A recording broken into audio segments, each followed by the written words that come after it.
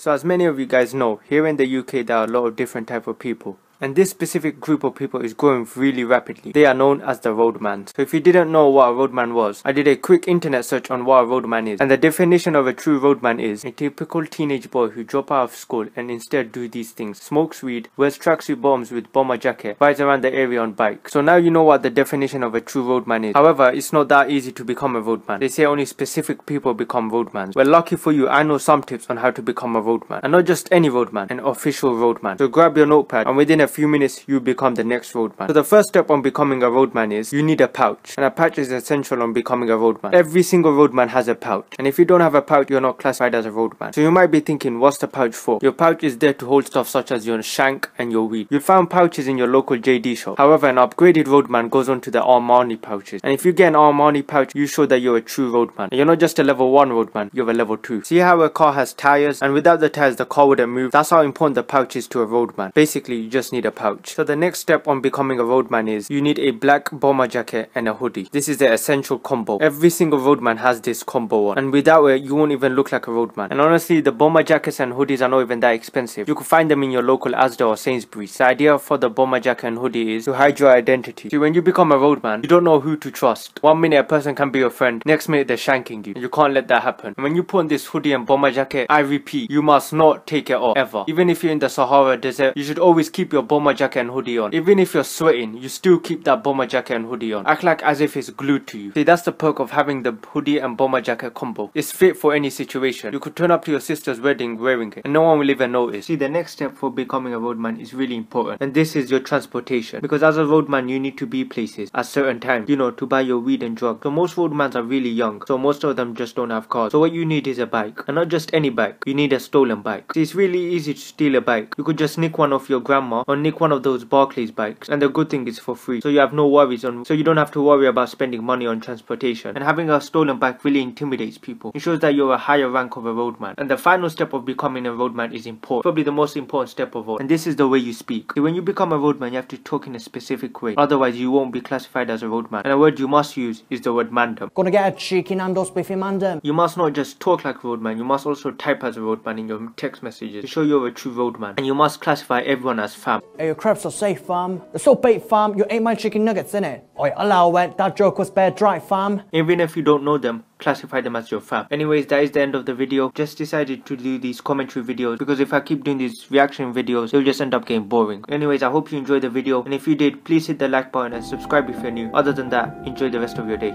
Thanks for watching. Got me in this party all up in a zone. Hottest Betty's trying to take away my cell phone. Like come and party. I